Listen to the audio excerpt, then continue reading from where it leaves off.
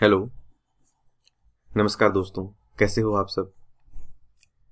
उम्मीद करता हूँ कि आपका दिन है वो काफ़ी अच्छा रहे और आपकी जो प्रिपरेशन है दोस्तों, वो भी बढ़िया चल रही होगी। एंड कोई भी आपको दिक्कत वगैरह है तो आप लोग है, मेरे को टेलीग्राम वगैरह के थ्रू है, आप पूछ सकते हो व्हाट्सअप नंबर वगैरह आपके पास हैं। अब हम चलते हैं हमारे आज के टॉपिक की तरफ़ और इस क्लास में हम डिस्कस करेंगे इंटरनल सिक्योरिटी का जो हमारा टॉपिक चल रहा था, उसको हम कंटिन्यू करने वाले हैं।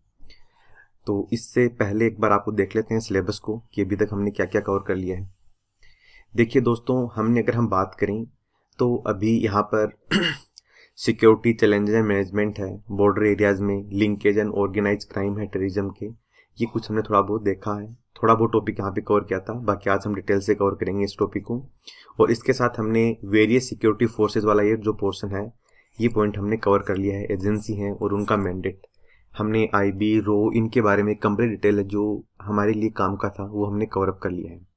आज हम बेसिकली यहाँ पर डिस्कस करेंगे security challenge and management border वाले एरिया में, और हम डिस्कस करेंगे स्पेशली टेररिज्म और इसके अलावा हम कुछ और भी छोटे छोटे पोर्सन हैं, उनको कवर करने वाले हैं। ठीक है? देखो, देखा जाए तो ये वेरियस सिक्योरिटी फोर्सेज वाला जो पॉइंट है ना, ये वाला, जो यूपीएससी मेंस में सिलेबस दिया गया है, ये काफ़ी हेवी पोर्सन है, नहीं, काफ़ी लेंथी भी है तो ये हमने कवर कर लिया है। अब आज हम डिस्कस करेंगे टेररिज्म के बारे में। आज हम डिस्कस करने वाले हैं टेररिज्म यानी आतंकवाद and role of external state and non state actors ये हम डिस्कस करने वाले हैं। देखिए, ये क्लास लाइव कुछ कारणों से नहीं हो पाई दोस्तों, थोड़ा इंटरनेट वगैरह की कुछ दिक्कत थी, मैं कहीं बाहर था। इसलिए मैं ये क्लास रिकॉर्ड करके आप लोगों तक पहुँचा रहा हूँ। और अगर इसमें कोई भी दिक्कत वगैरह आपको है तो आप मुझे कमेंट बॉक्स में बता देना, ताकि जो नेक्स्ट क्लास होगी, उसमें मैं वो चीज़ें आपको रिपीट है रिवाइज है, वो करवा दूँगा। ठीक है? तो आप इस क्लास को अच्छे से इन्जॉय करना। आज हम डिस्कस करेंगे टेरिज्म के बारे में। तो टेररिज्म के बारे में हमारी दो क्लासें रहेंगी। यानी हम बेसिक डिस्कस करेंगे टेररिज्म क्या है, किस तरीके से इफ़ेक्ट करता है। तो ये सारी चीज़ें हम, सारे सारे एक्सपेक्ट्स को हम चेक करने वाले हैं। तो पहले, सबसे पहले बात ये आती है कि सर टेररिज्म है क्या आखिर? क्योंकि ये एक बहुत ही बड़ा क्वेश्चन आता है। आपने काफ़ी बार देखा होगा टेररिज्म के बारे में। और इसके बारे में थोड़ा सा देख लेते हैं। देखिए दोस्तों, बात ऐसी है कि टेररिज्म है ना, इसकी कहीं भी कोई क्लियर डेफिनेशन नहीं है। अगर आपको सिंपल शब्दों में बोलूँ तो नो क्लियर डेफिनेशन यानी इसकी कहीं भी कोई क्लियर परिभाषा नहीं है। ऐसा क्यों है? क्यों भी टेररिज्म की परिभाषा नहीं है? दोस्तों, हम बात करते हैं। देखिए, बात यह है कि हर एक देश है ना अलग अलग अपने हिसाब से डेफिनेशन देते हैं। जैसे अगर मैं आपको सिंपल सी बात कहूँ, मसूद अजहर। आपने नाम सुना होगा, मसूद अजहर का। तो जो मसूद अजहर है, वो इंडिया के लिए एक आतंकवादी है। इंडिया के लिए एक टेररिस्ट है। ठीक है? लेकिन वहीं देखा जाए तो पाकिस्तान के लिए क्या है? वो वहाँ का एक लीडर है, देखा जाए तो फ़र्क हो गया ना? तो आप कैसे डिफाइन कर सकते हो?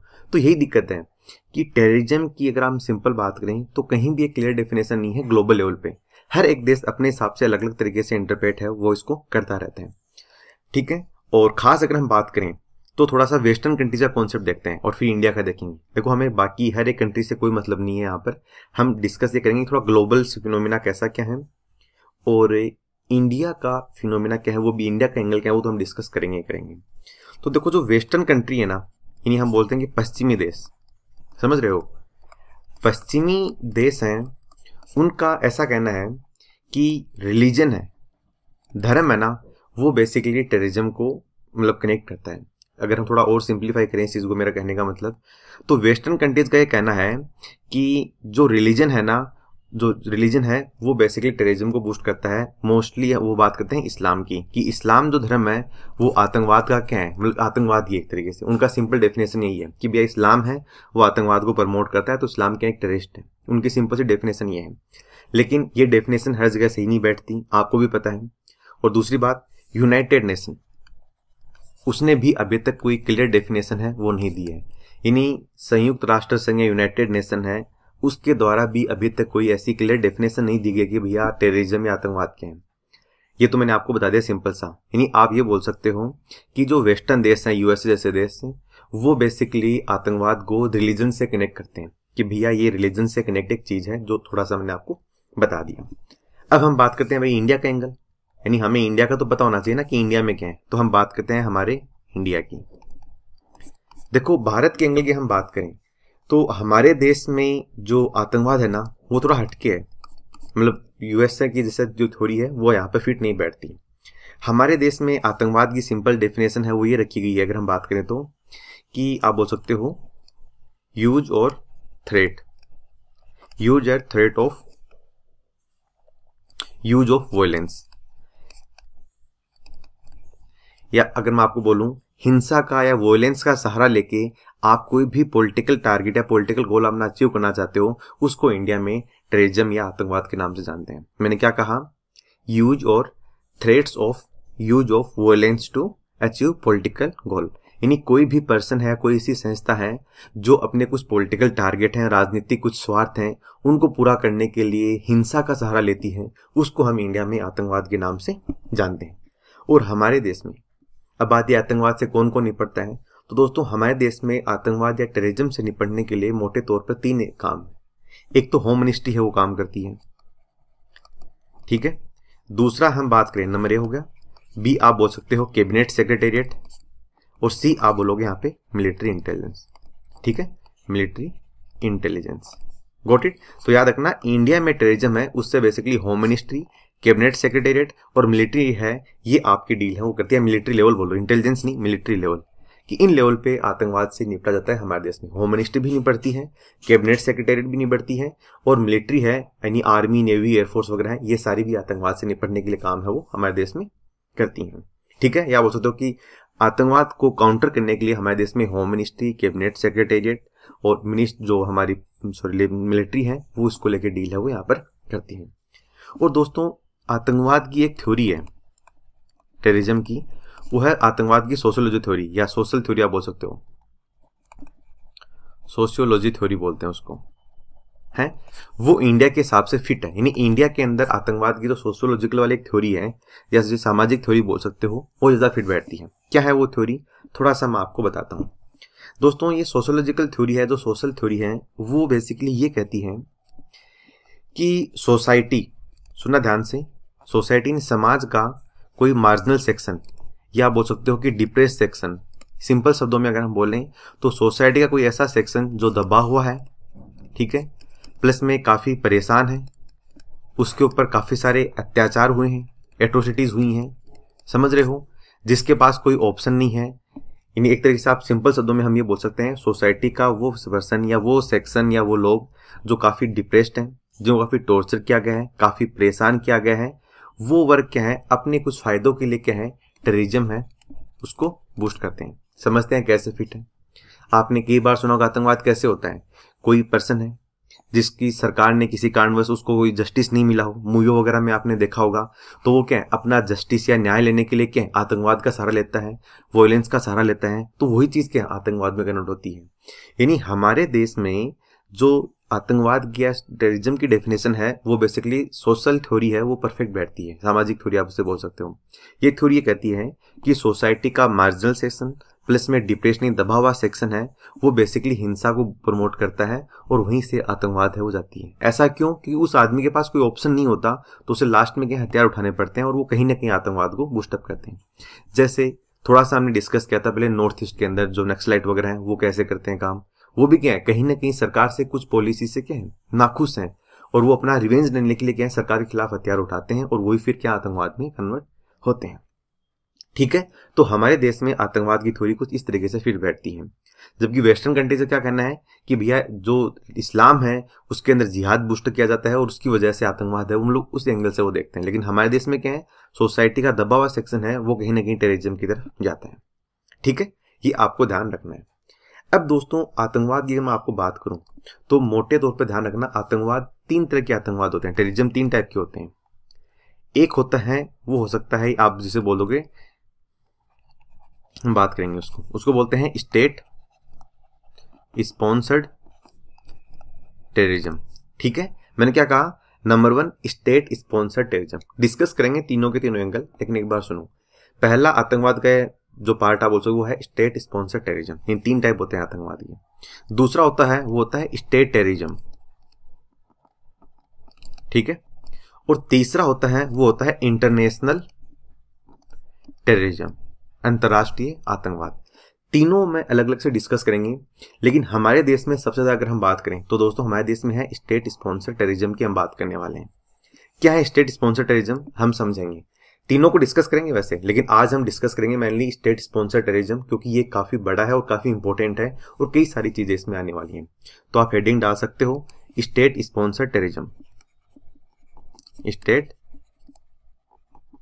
sponsored terrorism या स्टेट के द्वारा स्पॉन्सर किया गया, आतंकवाद आपसे बोल सकते हो। दोस्तों स्टेट स्पॉन्सर टेररिज्म इंडिया में हम देखें तो ये बेसिकली इनडायरेक्ट वॉर है। ये आपको ध्यान रखना है। इसकी शुरुआत कहाँ से होती है वो मैं आपको थोड़ा बैकग्राउंड बताता हूँ। यानी आतंकवाद की शुरुआत की अगर हम बात करें तो देखते हैं कहाँ से क्या होती है। दोस्तों, बात है, अगर हम सिंपल सी बात करें, आपको पता है वर्ल्ड वॉर सेकेंड हुआ।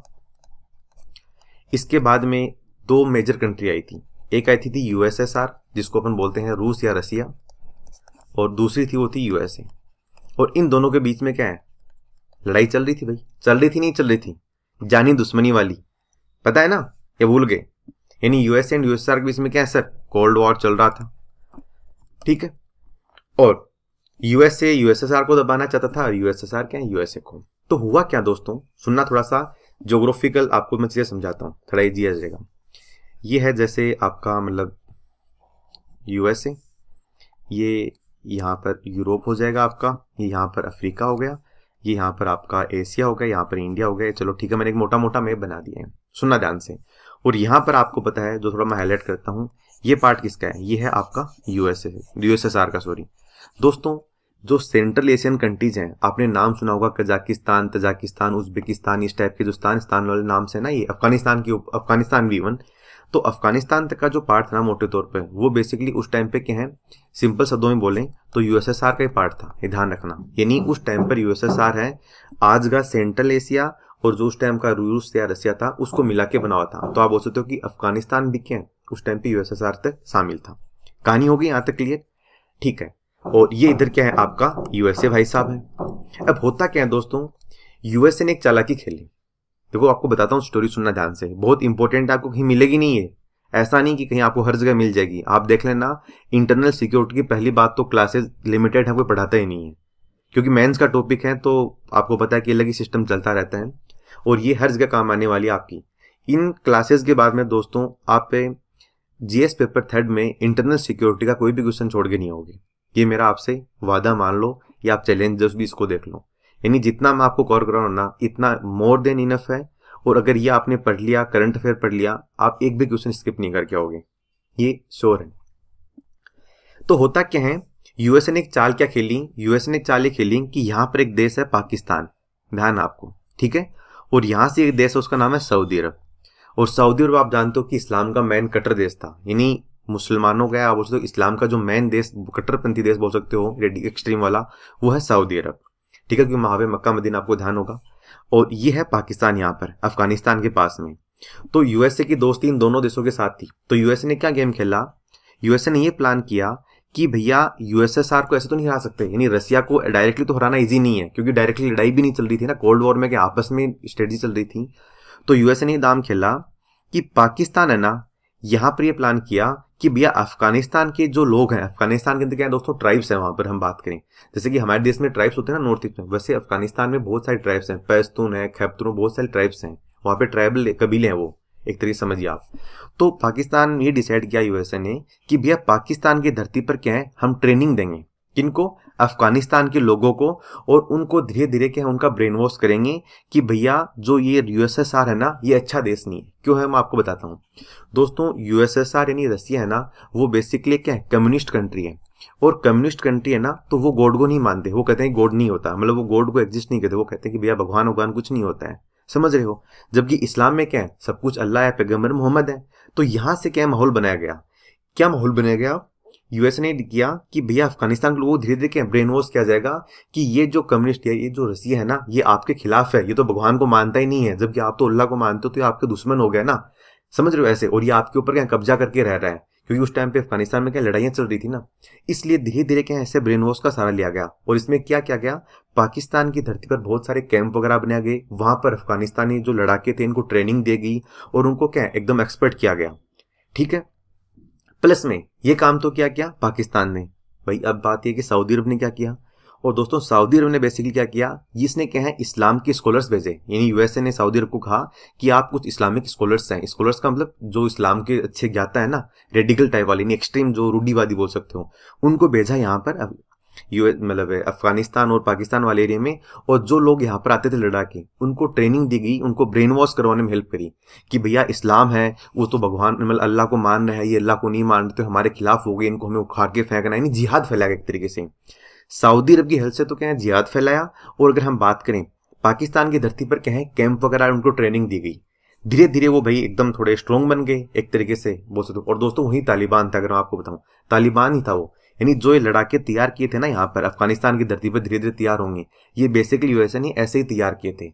समझ रहे हो? तो तालिबान क्यों तैयार किया था यूएसए ने? तालिबान यूएस ने इसलिए तैयार किया था ताकि यूएसएसआर को हराया जा सके। क्योंकि भैया ये लड़ाके क्या अब लड़ेंगे इस एरिया में किसके खिलाफ? रशिया के खिलाफ। तो रशिया के इस एरिया को छोड़ देगा? और यही प्लान था उसका यूएसए का। समझ गए? तो इस तरीके का प्लान था उस टाइम पे, ये ध्यान रखना। यानी यूएसए के द्वारा ही सबसे पहली बार बात करें तालिबान को बनाया तालिबान कहते आतंकवादी था। और तालिबान में क्या सिखा गया उनको? कि भैया यूएसएसआर आपका दुश्मन है ये इस, मतलब इस्लाम को सपोर्ट नहीं करता क्योंकि तो किसी धर्म को नहीं मान रहा है तो ये आपके खिलाफ है इसको आप उखाड़ के फेंकिए अफ़गानिस्तान में आपकी सत्ता कायब होगी हम आपको फंडिंग देंगे आपकी सारी हेल्प करेंगे क्योंकि हम क्या है? हम आपके सपोर्टर हैं। समझ रहे हो? ऐसे कहें यूएसए ने यहाँ पर गेम खेला। क्योंकि यूएसए क्या यूएसएसआर को हराना चाहता था और ये उसने पॉलिटिक्स खेली और उसकी हेल्प से क्या दोस्तों उसने यूएसएसआर को तोड़ा था। तो देखा जाए तो क्या यूएसए ने डायरेक्टली लड़ाई थोड़ी लड़ी? नहीं डायरेक्टली नहीं लड़ी। उसने क्या किया? प्रोक्सी वॉर किया। प्रोक्सी वॉर का मतलब खुद नहीं गया इनडायरेक्टली वॉर करवा दिया यहाँ पर और यूएसएसआर को क्या हरवा दिया। समझ रहे हो? तो ये दोस्तों यूएसए की स्ट्रेटजी थी और ये जो तालिबान बना, यही बाद में धीरे धीरे क्या है, समस्या गंभीर होती गई। क्योंकि हुआ क्या? कहानी कुछ ऐसे होती है, अगर आपको बताऊँ। कि जैसे ही अफ़गानिस्तान यहाँ पे आज़ाद हो जाता है और तालिबान की सरकार यहाँ पे बैठती है तो दोस्तों, आपको पता है कि जो लोग सब लड़ रहे थे अफ़गानिस्तान के अंदर, सबको तो सरकार में हिस्सा नहीं मिलेगा ना तो कई लोग क्या नाखुश हो जाएँगे। तो वो क्या है धीरे धीरे देखा जाए तो कुछ तो क्या है यूएसए के खिलाफ ही हो गए कि यूएसए कौन सा इस्लाम को सपोर्ट कर रहा है यूएसए खुद एक इस्लाम कंट्री नहीं है, समझ रहे हो? तो ऐसे क्या है धीरे धीरे क्या मामला फैलता गया, क्योंकि आपको पता है, कहते हैं ना कि जब आप दूसरों पर कीचड़ फेंकोगे तो खुद को कहाँ से अच्छी चीज़ें मिलेंगी ना तो वाली बात थी। गोट इट तो यही होता है कि तालिबान क्रिएट किया था उन्होंने ऐसे, लेकिन बाद में समस्या गंभीर बन जाती है। और दोस्तों, इससे पाकिस्तान को एक बड़ा फ़ायदा हो गया था। देखा जाए तो उनको। पाकिस्तान को क्या है इस टाइप के प्रोक्सी वॉर की है। एक्सपीरियंस हो गया था, क्योंकि उसने 10-15 साल के हैं, अफ़गानिस्तान के अंदर आतंकवाद फैलाया ना तो उसको ट्रेनिंग पर मिल गई, अफ़गानिस्तान को, कि अच्छा ऐसे ऐसे करके मैं ये कर सकता हूँ। तो यहाँ पर पाकिस्तान ने क्या है, उस ट्रेनिंग का बहुत हेल्प ली। और बाद में, जैसे यहाँ पर अफ़गानिस्तान अलग होता है ना, उसके बाद में ये जो पाकिस्तान है, ये वो जो लड़ाके वगैरह थे या जो कैंप वगैरह बने हुए थे ना, उन कैंप को क्या है, जम्मू एंड कश्मीर में भेज गए। जम्मू एंड कश्मीर को आज़ाद करवाने के लिए वहाँ पर लड़ाई चलाते हैं। और वही कश्मीर में टेररिज्म होता है, जिसको हम आगे डिस्कस करेंगे। ठीक है? तो थोड़ा सा मैंने थ्योरी आपको बता दी। तो ये थोड़ा सा आपको बेसिक बता दिया बैकग्राउंड की कैसे आतंकवाद की यहाँ पर शुरुआत होती है ग्लोबल लेवल पे मतलब स्टेट स्पॉन्सर तो देखा जाए तो यहाँ पर क्या है? पाकिस्तान, सऊदी अरब और यूएसए बताओ ये आतंकवाद को स्पॉन्सर कर रहे हैं, नहीं कर रहे हैं? फंडिंग दे रहे हैं, नहीं दे रहे हैं? बिल्कुल दे रहे हैं। क्योंकि पाकिस्तान की तो धरती का यूज़ हो रहा है। और अफ़गानिस्तान, जो आपका यहाँ पे सऊदी अरब वो क्या है? वो रेडिकलाइजेशन पे फोकस कर रहा है, एक तरीके से एक्सट्रीम जो आइडियोलॉजी है, जिहादी वाली, वो बूस्ट कर रहा है। और यूएसए क्या है? यहाँ पर फंडिंग दे रहा था इनको, पाकिस्तान को, कि आप आतंकवाद फैलाओ अच्छे से अफ़गानिस्तान के अंदर, ताकि अफ़गानिस्तान वाले यूएसएसआर को हराएँ और फिर हम मेरा वजूद पूरा हो जाए। तो इस तरह की कहानी थी। इसको बोलते हैं स्टेट स्पॉन्सर यानी जब कोई राज्य राज्य का मतलब यहाँ देखो स्टेट का मतलब वैसे बोल सकते हो देश। इंटरनेशनल लेवल पे स्टेट का मतलब कोई कंट्री होती है। कंट्री वर्ड नहीं बोलते, वो स्टेट वर्ड यूज़ करते हैं। जब कोई भी कंट्री है, वो टेररिज्म को सपोर्ट कर रही है, उसको बूस्ट कर रही है ना, उसको बोलते हैं स्टेट स्टेट स्पॉन्सर्ड टेररिज्म या स्टेट स्पॉन्सर्ड आतंकवाद। समझ गई? तो यहाँ पर आपको दिख रहा है कि स्टेट स्पॉन्सर्ड टेररिज्म ही है। तो ये क्या प्रोक्सी वॉर एक तरीके का? क्या क्या है मैंने आपको सारा बैकग्राउंड यहाँ पर बता दिया? अब दोस्तों बात यह है कि यहाँ पे जो सऊदी अरब था आपका, सुनो ध्यान से, यहाँ पर क्या हो गया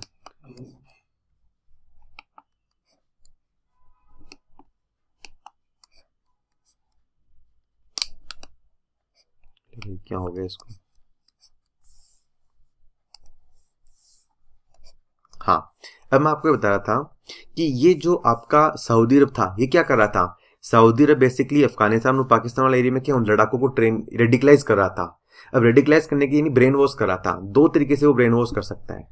एक तो होता है लॉन्ग टर्म ये क्या समस्या होगी तो? एक हो सकता है आपका लॉन्ग टर्म रेडिकलाइजेशन और दूसरा हो सकता है short term short term radicalisation long term radicalisation का मतलब ये है कि पंद्रह बीस सालों के अंदर के लोगों का धीरे धीरे ब्रेन वॉश करना छोटे बच्चे होते हैं, उनको बचपन से ब्रेन वॉश करना कि ये यूएसएसआर वाले आपके दुश्मन है, ये इस्लाम को नहीं मानते हैं इस्लाम के फॉलो नहीं है पैगंबर को नहीं मानते हैं, ऐसे बोलना। और शॉर्ट टर्म वाला क्या है? जो यंग जनरेशन है, जो कि किसी कारणवश सरकार से कुछ नहीं है, उसको भड़का के उसका क्या है? जल्दी से ब्रेन वॉश कर देना। यानी एक दो साल में। तो इस तरीके से रेडिकलाइजेशन पे फोकस किया गया था। गोट इट तो ये थोड़ा सा मैंने आपको बताया दोस्तों, अब हम चलते हैं आगे फटाफट। ठीक है, अब एक वर्ड आता है, वो आता है O G W over ground worker over ground workers क्या है ओवर ग्राउंड वर्कर्स देखिए दोस्तों, बात ऐसी है, सुनना थोड़ा ध्यान से, ये ओवर ग्राउंड वर्कर वाला कॉन्सेप्ट है, वो भी मैं आपको भी समझाता हूँ। थोड़ा टेररिज्म का एक तरीका होता है देखो कि आतंकवाद कैसे फैलता है वो मैं आप, आपको आगे बताने वाला हूँ। दोस्तों कहानी ये होती है सुनना जब पाकिस्तान ने एग्ज़ाम्पल से समझा रहा हूँ जब पाकिस्तान ने अपने देश में कैंप लगाए और वहाँ पर अफगानिस्तानी लड़ाकू अफ़गानिस्तान लोगों के को ट्रेनिंग देकर उनको भड़काया वगैरह जो भी काम किए ठीक है? तो हुआ क्या? पहले पाकिस्तान ने क्या है? खुद पाकिस्तान खुद जाकर लड़ाई थोड़ी लड़ा था? नहीं नहीं। उसने क्या प्रोक्सी वॉर किया। प्रोक्सी वॉर मतलब इनडायरेक्टली वॉर गुरिल्ला वार आप उसे बोल सकते हो। और यू नो गुरिल्ला वार में क्या, जीत, जो लड़ाई लड़ता है, उसकी होती है। सामने वाला से कितना पावरफुल हार जाता है। जैसे शिवाजी वगैरह की आपने देखी होगी। तो ऑर्गन वर्कर का कॉन्सेप्ट समझाता हूँ। पाकिस्तान ने क्या किया? सुनना ध्यान से। एग्ज़ाम्पल इंडिया के। पाकिस्तान के पास क्या है भैया? कैंप वगैरह सब कुछ थे। एक्सपीरियंस आ गया था आठ दस साल में कि हाँ कैसे लोगों मतलब ये टेररिज्म वगैरह को बूस्ट वगैरह करते हैं। और जब अफ़गानिस्तान नया देश बन गया, अब भैया पाकिस्तान उन कैंपों का क्या करे? आचार थोड़ा डालेगा कॉमन सी बात है, कुछ ना कुछ तो करेगा ना वो। ऐसे थोड़ी बैठने वाला है। तो पाकिस्तान ने क्या किया? पाकिस्तान ने टारगेट किया जम्मू एंड कश्मीर को। ठीक है?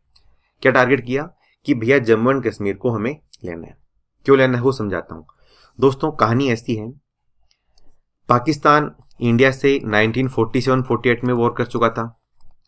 1965 में कर चुका था और 1971 में कर चुका था। ध्यान है ना आपको? और इन तीनों ही लड़ाइयों में आपको पता है पाकिस्तान की क्या है? बुरी हार हुई थी। ठीक है? पाकिस्तान हार हुई थी।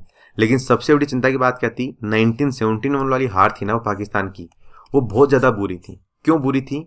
क्योंकि जो ईस्टर्न पाकिस्तान, यानी आज का जो बांग्लादेश था ना, वो बेसिकली 1971 में बना था। वो उस टाइम पे पाकिस्तान का पार्ट था और इंडिया ने क्या उसको आज़ाद करवाया? यानी देखा जाए तो 1971 में। इंडिया ने पाकिस्तान को दो भागों में बांट दिया। अब आपको पता है क्या इंडिया ने क्या पाकिस्तान को तोड़ दिया था? तो पाकिस्तान के जख्म गहरे हो गए थे कि यार इसने इंडिया ने क्या मेरे को तोड़ दिया? तो वो बात क्या चुप गई उसको। तो पाकिस्तान चाहता था कि मैं भी इस चीज़ का बदला लूँ और मैं भी इंडिया को फील कराऊं कि आप अपना पार्ट जब खोते हो तो कितना बुरा फील होता है। तो पाकिस्तान ने 1971 के बाद एक अप्रोच रखी। वो ये रखी कि बस इस जम्मू एंड कश्मीर को सेपरेट करवाना है। इंडियन जम्मू एंड कश्मीर को इंडिया से आज़ाद करवाना आज़ाद का मतलब इंडिया से सेपरेट कर देंगे तो अपने आप आज़ाद हो गए ना। तो ये टारगेट पाकिस्तान ने बना लिया। लेकिन पाकिस्तान को यह भी समझ में आ गया कि भैया, मैं डायरेक्ट लड़ाई लड़कर कभी नहीं जीत सकता इंडिया से। ये उसको भी समझ में आ गई। अब उसने ये प्लान किया कि मैं डायरेक्ट लड़ाई नहीं लड़ूँगा, मैं यूज़ करूँगा प्रोक्सी वॉर यानी इनडायरेक्टली लड़ाई लड़ूँगा। इनडायरेक्टली कैसे? जैसे, कैसे किया था? जैसे अफ़गानिस्तान के अंदर किया था। यानी यूएसए ने अफ़गानिस्तान में कैसे लड़ रही थी? पाकिस्तान के ग्राउंड में लोगों को तैयार किया, फिर भेजा। तो अब यूएस पाकिस्तान क्या करेगा इंडिया में? पाकिस्तान ये प्लान किया कि क्यों नहीं पाकिस्तान में जो कैंप लगे हुए हैं ना, उनके अंदर यूथ को ट्रेनिंग दी जाए। सोसाइटी के दबे हुए सेक्शन जो भी हैं, ठीक है, वहाँ पे, और उनको ट्रेनिंग दे के उनको धीरे धीरे कहें यहाँ पर भेजा जाए, जम्मू एंड कश्मीर वाले एरिया में। और जम्मू एंड कश्मीर में जब उनको भेज दिया जाएगा इसके बाद में क्या है? वो लोग यहाँ पर आएँगे जम्मू एंड कश्मीर में और यहाँ पर सोसाइटी के उस सेक्शन को आइडेंटिफाई करेंगे। जम्मू एंड कश्मीर में वो लोग जो दबे हुए हैं मार्जिनलाइज सेक्शन है ना, उनको टारगेट करेंगे, उनको सेलेक्ट करेंगे, क्योंकि वो क्या सरकार से कुछ नहीं है, भारत की सरकार से, और उनको क्या धीरे धीरे उनका ब्रेन वॉश करेंगे।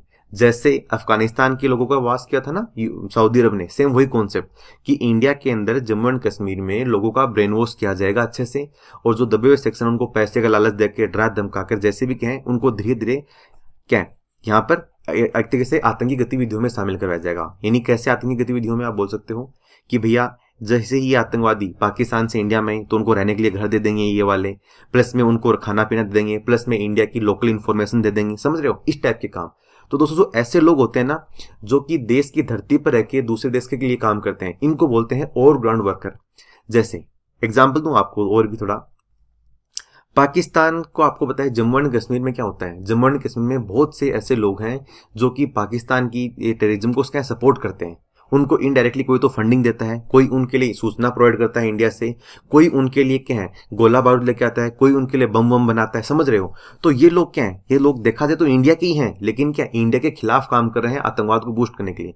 तो इन लोगों को बोलते हैं ओवर ग्राउंड वर्कर यानी ओवर ग्राउंड वर्कर हैं, वो बेसिकली क्या है टेरिटरी के अंदर ही होते हैं, खुद देश के लोग हैं, और वो क्या है, दूसरे देश यानी टेररिज्म को क्या है बूस्ट कर रहे हैं। उनको बोलते हैं ओवर ग्राउंड वर्कर अब दोस्तों ओवर ग्राउंड वर्कर कई तरीके हो सकते हैं। ओजीडब्ल्यू बोलता हूँ शॉर्ट में इसको मैं। ओवरग्राउंड वर्कर हैं, वो लेबर के रूम में भी हो सकते हैं, यानी कोई लेबर वाला काम करवा के दे देंगे। प्लस में वो हो सकता है कि वो फाइनेंस देने वाले हो, पैसे देने वाले हो फंडिंग देने वाले हो, इन आपको पता है।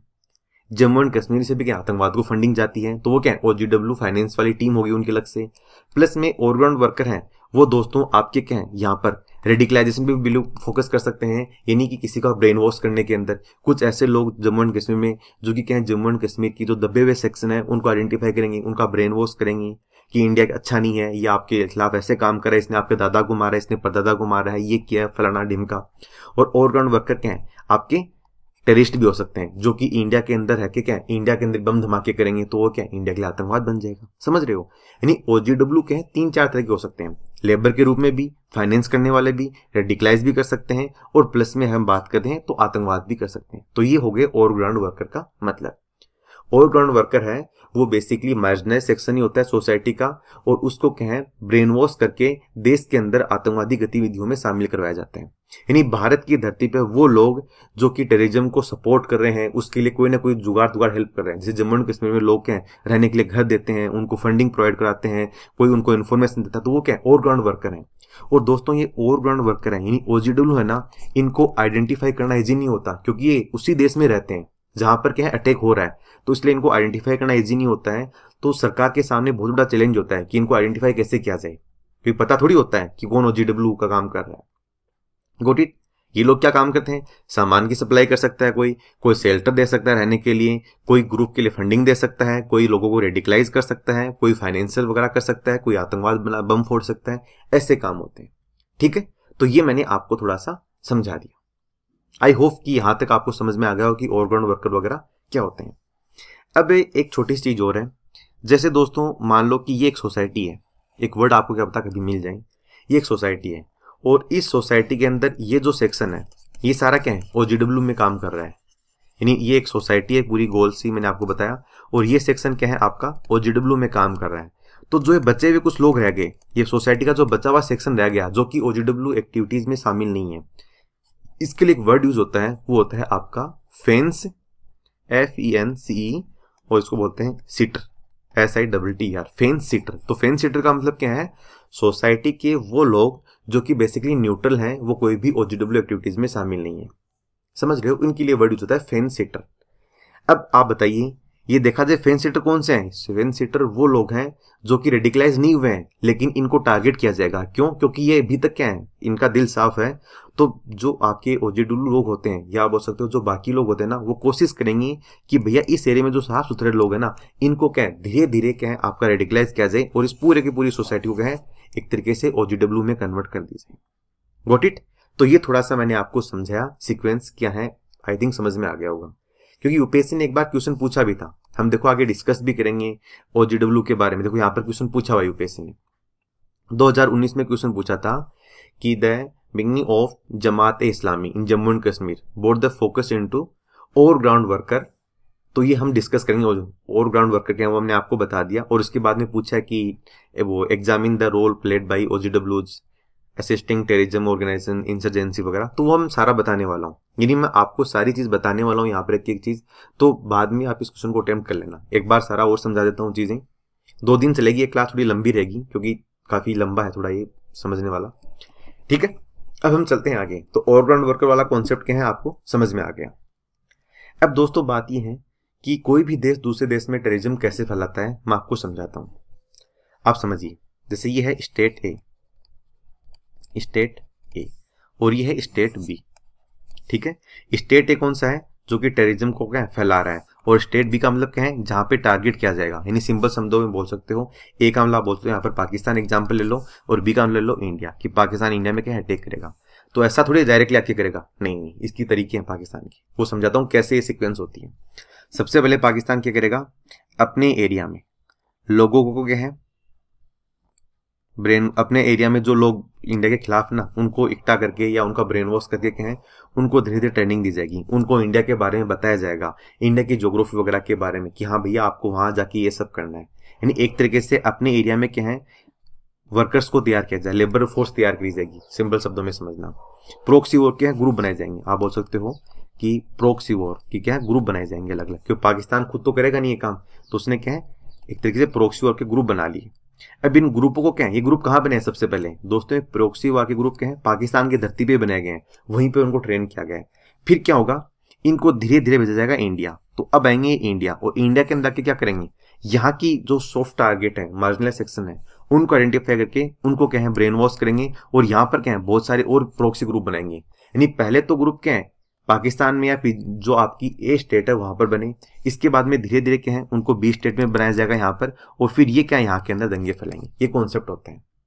समझ रहे हो? क्योंकि इससे पता भी नहीं चलता ना दूसरे देश को कि भैया किसने किया। तो ये बेसिकली जम्मू एंड कश्मीर में पाकिस्तान के द्वारा यूज़ की गई एक टेक्निक थी और दोस्तों, इसके बाद में खास बात क्या है, वो भी मैं आपको समझाता हूँ। सुनना ध्यान से। एक वर्ड और आता है आपके सामने। वो आता है आपके सामने कॉम्पिटेटिव टेररिज्म इंडस्ट्री ये वर्ड आपको मिलेगा। शॉर्ट में उसको बोलते हैं C T I competitive terrorism industry दोस्तों कॉम्पिटेटिव टेररिज्म इंडस्ट्री क्या मैं समझाता हूँ। ये पाकिस्तान है, ठीक है? इसने क्या है, बहुत सारे क्या आपके प्रोक्सी ग्रुप बनाए। प्रोक्सी ग्रुप का मतलब जो इंडिया के लिए अटैक करेंगे उनको। बहुत सारे ग्रुप तैयार किए भैया। ये लो तीन चार मालूम तैयार किए। ठीक है? इनको क्या करेगा ये?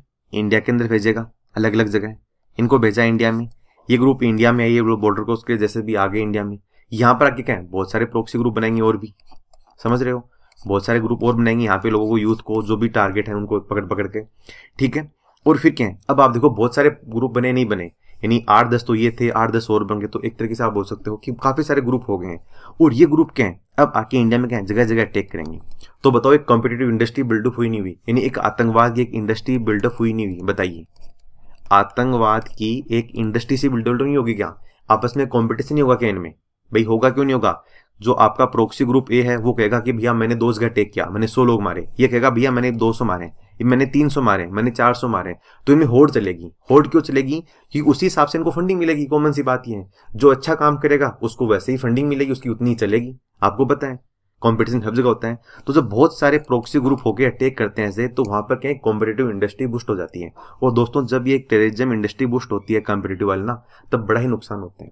और पाकिस्तान यही तरीका इंडिया के अंदर यूज़ करता है। इन्हें टारगेट देश में बहुत सारे ऐसे अटैक करवाए जाते हैं, बहुत सारी आतंकवादी गतिविधियाँ करवाई जाती हैं। ठीक है? ये आपको ध्यान रखना है। क्लियर तो ये मैंने थोड़ा सा आपको बताया। अब हम आगे चलते हैं। दोस्तों, ये ओजेडब्ल्यू है ना, ये सोसाइटी के लिए बहुत खतरनाक होते हैं। किसी भी देश में ये ओवर ग्राउंड वर्कर बनना बहुत खतरनाक होता है। क्यों? क्योंकि ओवर ग्राउंड वर्कर क्या है? लेबर का काम करते हैं। प्लस में फोर्सेस के लिए भी काम करते हैं। प्लस में फाइनेंस भी करते हैं। प्लस में ये क्या है? रेडिकलाइजेशन का भी काम करते हैं। प्लस में आतंकवादी गतिविधियों में शामिल होते हैं। तो हर एक एक्टिविटीज़ में शामिल होते हैं। इसलिए इनकी बड़ी समस्या होती है। इनको खत्म करना ईजी नहीं होता है फिर। आप देखिए, एक बार एक ग्रुप बना प्रोक्सी ग्रुप फिर भी इंडिया में कैसे एक्सपेंड होता है? ठीक है? ये आपको ध्यान रखना है। अब बात ये आती है कि सर इनका फिर सोल्यूशन क्या है? दोस्तों, इनका सोल्यूशन ये होता है, इनको मार के सोल्यूशन नहीं कर सकते। क्योंकि आपको है भैया इंडिया के अंदर जो है बहुत सारे प्रोक्सी ग्रुप बन गए हैं। क्या इनको सबको मार सकते हो क्या आप? बताओ। पॉसिबल नहीं है क्योंकि भाई भारत के लोग हैं, इनका ब्रेन वॉश किया गया है। नहीं, मारना इज़ नॉट ए सोल्यूशन तो इसके लिए सरकार क्या करती है? इसके लिए दोस्तों, सरकार चलाती है डी रेडिकलाइजेशन कैंप यानी जिस तरीके से इनको रेडिकलाइज किया गया था, इनका ब्रेन वॉश किया गया था ना, उसको वापस से क्या है डी रेडिकलाइजेशन का। डी रेडिकलाइजेशन का मतलब ये है कि भारत सरकार क्या करती है? जो जिस धर्म के वो लोग होते हैं, सुनो ध्यान से, जिस धर्म के वो आतंकवादी या जो लोग बनते हैं इस टाइप के ओजीडब्ल्यू लोग, सरकार उनको पकड़ती है। ठीक है? इसके बाद में क्या करती है? उसी धर्म के जो अच्छे स्कॉलर्स हैं, जो कि अच्छा नॉलेज रखते हैं ना, उनसे सरकार के हैं, उनको धीरे धीरे उनका ब्रेन वॉश ठीक करती है। यानी उनको वापस से क्या है सही रस्ते पर लेके आती है। ठीक है? उनके लिए कैंप चलाए जाते हैं। इसीलिए आपने देखा होगा कई बार आपने सुना है कि जम्मू एंड कश्मीर में बहुत सारे क्या है डी रेडिकलाइजेशन कैंप चलाती है सरकार। उसका रीजन यही है, क्योंकि ये जो ओजीडब्ल्यू वर्कर्स है ना, इनको मारना सोल्यूशन नहीं है। इनका सोल्यूशन क्या है कि भैया इनका वापस ब्रेन वॉश ठीक करना पड़ेगा। यानी इनको चीज़ें समझानी पड़ेंगी, इनको पटरी पर लाना पड़ेगा। और फिर सरकार वहाँ पे डेवलपमेंट वगैरह करवाती है, ताकि धीरे धीरे जो इस टाइप के ऑलराउंड वर्कर है, इनको रोका जा सके। क्योंकि कहते हैं ना कि आइडियोलॉजी कभी खत्म नहीं होती, वो हमेशा बढ़ती जाती है। आप लोगों को, कब तक मारोगे? एक मर गया, दो मर गया, तीन मर गया। जैसे आज आतंकवाद को देख लो। आतंकवाद कभी मर थोड़ी सकता है, वो तो एक आइडियोलॉजी है। तो उसको क्या धीरे धीरे चेंज करना होगा? उसमें रिफॉर्म लाने पड़ेंगे, तभी जाके वो चीज़ें खत्म हो सकती हैं। ठीक है? ये आपको ध्यान रखना है। यानी इस टाइप के जो ये कॉन्सेप्ट है टेररिज्म है इंडिया में, इससे निपटने का सोल्यूशन क्या है? इसका मिटिगेशन यही है कि भैया डी रेडिकलाइजेशन कैंप चलाए जाए। मारना सोल्यूशन नहीं है, क्योंकि उसी देश के लोग हैं। इसी कारण सरकार क्या करती है? जम्मू एंड कश्मीर में कैंप चलाती है, ताकि लोगों को समझाया जाके वापस ठिकाने पर लाया जा सके। इज़ इट क्लियर आया कुछ समझ में? अब हम चलते हैं आगे। जैसे दोस्तों, थोड़ा सा मैं आपको इंडिया का सीनेरियो समझाता हूँ मतलब फ्लो चार्ट के फॉर्म में। होता क्या है? आफ्टर 1971 पाकिस्तान की बात कर रहे हैं। 1971 में जब पाकिस्तान हार जाता है तो वो क्या करता है? इंडिया से इनडायरेक्ट वॉर लड़ता है। इनडायरेक्ट वॉर करता है। किसकी हेल्प से? प्रोक्सी ग्रुप नहीं, बहुत सारे प्रोक्सी ग्रुप बनाएगा गुरिल्ला वार की तरह, उनसे। और ये प्रोक्सी ग्रुप क्या करेंगे? इंडिया के अंदर आके कहें और जेडब्ल्यू और ग्राउंड वर्कर तैयार करेंगे। अपनी फोर्सेस तैयार करेंगे, जो मैंने अभी आपको समझाया। और ये ऑलराउंड वर्कर हैं इंडिया में लगभग 1992 से बनने स्टार्ट हो जाते हैं। अप्रोक्सीमेटिक मोटा मोटा लमसम ईयर है। और जैसे धीरे धीरे इंडिया में ओजीडब्ल्यू ये स्टार्ट होते हैं आपके, ये दोस्तों धीरे धीरे आते आते लगभग हम बात करते हैं तो 2005 के आसपास ये काउंट जो आप बात करते हैं एक आपकी कॉम्पिटेटिव टेररिज्म इंडस्ट्री को बिल्डअप कर लेते हैं। कॉम्पिटेटिव इंडस्ट्री का मतलब क्या है कि बहुत सारे प्रोक्सी ग्रुप बन जाते हैं इंडिया के अंदर ऑलराउंड वर्कर के द्वारा और वो क्या आपस में होड़ने लग जाते हैं कि मैं इतना धमाका, मैंने ये किया, मैंने ये आपस में, उनमें कॉम्पिटिशन चलने लग जाता है। यानी जब टेररिज्म इंडस्ट्री में आपके कॉम्पिटिशन चलने लग जाता है, उसको बोलते हैं सीटीआई या कॉम्पिटेटिव टेररिज्म इंडस्ट्री जो कि इंडिया में 2005 में आती है। तो थोड़ी सी सीक्वेंस याद रखना कि 1970 में पाकिस्तान, उसके बाद में वो इंडिया से क्या इनडायरेक्टली वॉर के लिए फोकस करता है और ऑलराउंड वर्कर तैयार करता है। अब ऑलराउंड वर्कर क्या है? पहले पाकिस्तान अपनी धरती पर तैयार करेगा, फिर उनको इंडिया भेजेगा, फिर इंडिया के अंदर बहुत सारे और ग्रुप बनाए जाएँगे उनके द्वारा, फिर वहाँ से क्या है? उनके बीच में कॉम्पिटिशन होगा और वही आपकी कॉम्पिटेटिव या कॉम्पिटेटिव टेरिज्म इंडस्ट्री के नाम से जानी जाती है। ठीक है? क्लियर चलते हैं फिर आगे। गोट इट थोड़ा सा क्लियर हो गया होगा। अब दोस्तों, जो मैंने आपको पीछे स्टोरी बताई अभी, कि किस तरीके से अफ़गानिस्तान के अंदर ये ग्रुप वगैरह चले थे, ये मुजाहिदीन वाला थोड़ा बहुत समझाता हूँ। बात है 1979 की, ठीक है? 1979 में यूएसएसआर वर्सेस क्या था? यूएसएसआर ठीक है? और यूएसएस ने क्या किया? यूएसए ने अपने साथ मैंने आपको बताया कि सऊदी अरब और प्लस में पाकिस्तान को लिया। क्यों लिया? क्योंकि यूएसएसआर को हराना था, इसके लिए उसने ये माम किया। और इसमें क्या क्या काम थे? यूएसए ने बेसिकली क्या है? फंडिंग दी थी, याद रखना। यूएसए क्या है? फंडिंग प्रोवाइड कराता, हथियार वगैरह प्रोवाइड करवाता। सऊदी अरब क्या है? सऊदी अरब ने क्या है? लोगों को क्या अफ़गानिस्तान के लोगों को क्या रेडिकलाइज किया, यानी उनको क्या ब्रेन वॉश किया। और पाकिस्तान ने क्या किया? पाकिस्तान ने बेसिकली एक तरीके से आप बोल सकते हो, उनका, पाकिस्तान का लैंड यूज़ किया गया, या वहाँ पर क्या है? कैंप लगाए गए। यानी पाकिस्तान के अंदर कैंप लगाए गए, वहाँ पर सऊदी अरब के लोग आ गया सऊदी अरब के जो लोग ब्रेन वॉश करने वाले थे, उनको बुलाया गया, और यूएस ने फंडिंग दी, और यहाँ पर सारे के सारा ये सिस्टम चल रहा था। और इसलिए क्या हुआ? कॉन्सेप्ट बाद में हुआ क्या? अफ़गानिस्तान जो लोग थे या अफगानी जो लोग थे इनको कहें रेडिकलाइज या इनका ब्रेन वॉश करके ठीक है? और इनको गोले बारूद यूएस ने पकड़ाई दी हैं हथियार लड़ाई करने के लिए और इनको यूएसएसआर से लड़ने के लिए तैयार कर दिया। और क्या कहा? कहा यही कि भैया इस्लाम है वो क्या है? In danger Islam in danger क्या कहा? ड्यू टू सोशलिस्ट या आप बोल सकते हो कि भैया रसिया की वजह से आपका सम, जो इस्लाम है वो खतरे में आ गया है क्योंकि रसिया क्या है? किसी धर्म को नहीं मानता है। रसिया भगवान को नहीं मानता है। तो आप इसका काम तमाम कर रहे हो। ठीक है? गोट इट ओके तो ये आपको थोड़ा समझ में आ गई कैसे उन्होंने काम किया जो मैंने आपको बता दिया था। अब हम आगे बात करते हैं। जैसा मैंने आपको बताया कि भैया पाकिस्तान को कहें दोस्तों, यहाँ से एक्सपीरियंस मिल गया था। और आपको ध्यान ही है। लगभग हम बात करते हैं 1989 और 90 के आसपास आते क्या है? जो आपका यूएसएसआर होता है ना, वो क्या है, हाथ खड़े कर देता है कि भैया नहीं, यानी ये बेसिकली बात है वैसे 1988 की। 1988 की कहानी होती है, एक होता है जनेवा कोड याद रखना जो उसमें आई भी काम आता है। जनेवा अकॉर्ड उस जनेवा जो अकॉर्ड है ना, उसके अंदर यही डिसाइड होता है कि यूएसएसआर के हैं, इससे कोल्ड वॉर से हाथ खड़े कर देता है कि भैया मैं लड़ाई नहीं लड़ूँगा इनफ मैं थक चुका हूँ, क्योंकि काफ़ी सारा वॉयलेंस होने लग गया था और यूएसए के टूट यूएसएसआर के टूट जाते हैं। तो जिनेवा अकॉर्ड की बात क्या है ये भैया यूएसए वगैरह तो चल जाता वापस अपने ठिकाने पर। और सऊदी अरब भी कोई दिक्कत नहीं है, लेकिन पाकिस्तान की धरती क्या है? क्या करेगी? पाकिस्तान वाले तो वेल्ले बैठे हैं ना तो कुछ ना कुछ तो काम चाहिए। तो वही क्या है? उसी को धीरे धीरे क्या है दोस्तों, आपका आगे बुस्ट करेंगे। ठीक है? तो ये हम आगे डिस्कस करने वाले हैं नेक्स्ट क्लास में। तो अभी तक आप ये समझ लेना। क्लियर है? तो आज की इस सेशन में इतना ही है। नेक्स्ट अपन अगले सेशन में देखते हैं। थैंक यू कुछ डाउट वगैरह हो तो आप मुझे टेलीग्राम या व्हाट्सएप पे पूछ लेना।